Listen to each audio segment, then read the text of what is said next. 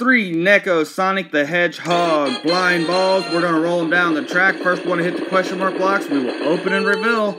Here we go. Wonder what's in them.